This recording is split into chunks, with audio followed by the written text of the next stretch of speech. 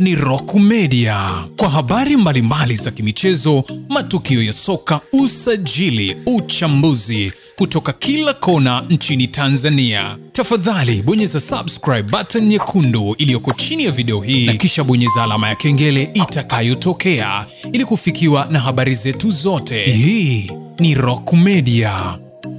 Mambo vipi, mdau wa soka? E bwana, asante kama tayari umeshabonyeza maneno mekundu yaliyoko chini ya video hii yaliyoandikwa subscribe, kisha ukabonyeza na alama ya notification, na maanisha ukabonyeza na hicho kitufe cha kengele kitakachotokea hapo pembeni, ili kuwa wa kwanza kupata habari zote za michezo saa ishirini na nne endapo tu pale zitakapokuwa zikitokea au zikijiri toka kona mbalimbali ya dunia, iwe ndani ya Tanzania au nje ya mipaka ya Tanzania. Hapa hapa Rock Media, kituo chako pendwa kabisa hiki cha michezo, kituo chako bora kabisa hiki hapa, kinakuwa kinakufikishia habari zote za michezo. Pasina kuangaika wala kusumbuka wala kutafuta mahala kwingine kokote.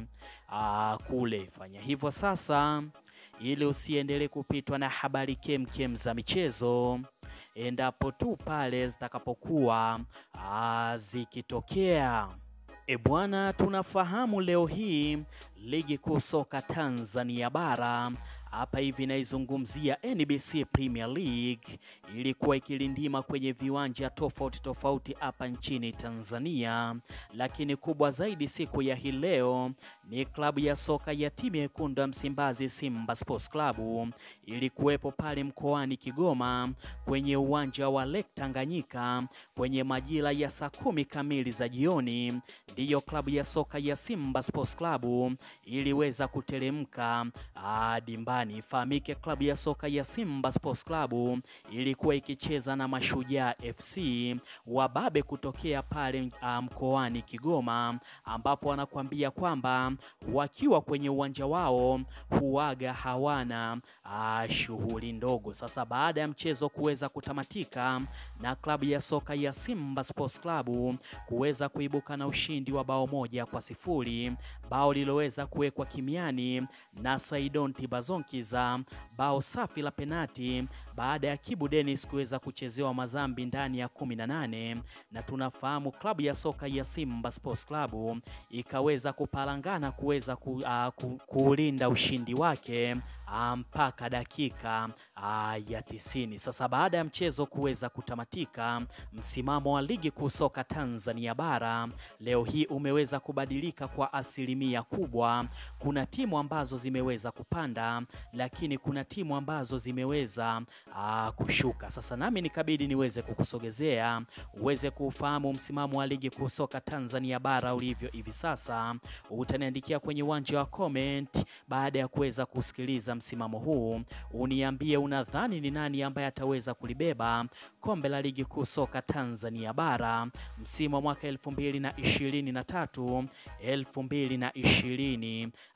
Na nafasi za mwisho wanaoburuza mkia kwenye ligi kuu soka Tanzania bara, nafasi ya 16 inashikiliwa na Mtibwa Sugar ambapo ameweza kucheza michezo 14 ameweza kuvuna alama nane, lakini nafasi ya 15 inashikiliwa na Mashujaa FC ameweza kucheza michezo 13 ameweza kuvuna alama tisa. Nafasi ya 14 inashikiliwa na IHF ambapo ameweza kucheza michezo 14 ameweza kuvuna alama takriban 13, lakini nafasi ya 13 inashikiliwa na Kagera Sugar ambapo ameweza kucheza michezo 14 na ameweza kuvuna alama 14. Nafasi ya 12 inashikiliwa na Tabora United ambapo ameweza kucheza michezo 13 ameweza kuvuna alama takriban 15, na nafasi ya 11 inashikiliwa na JKT Tanzania ambapo ameweza kucheza michezo 14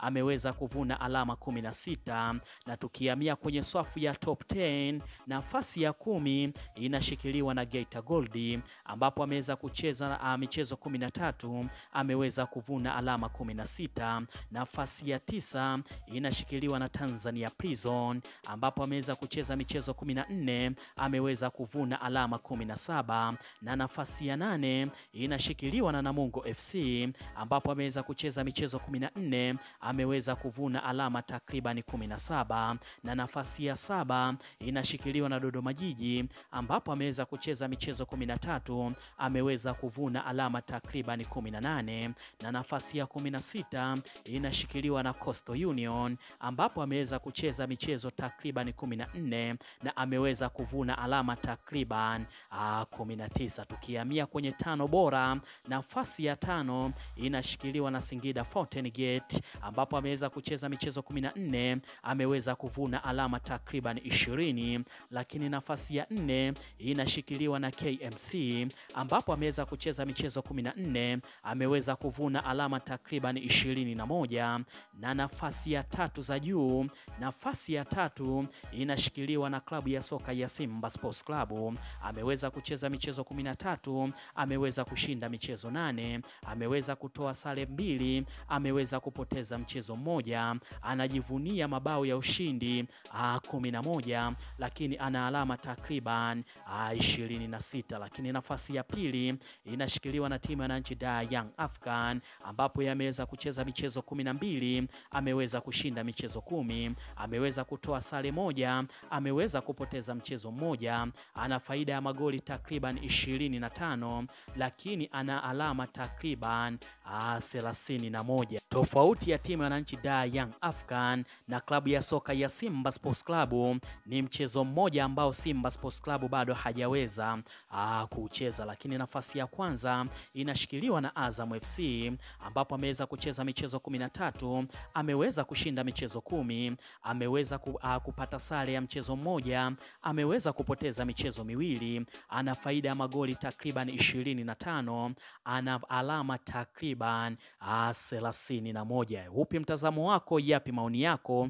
Nani bingwa wa ligi kuu soka Tanzania bara msimu huu? Utaniandikia kwenye uwanja wa comment, kisha usisahau kusubscribe na kubonyeza alama ya notification.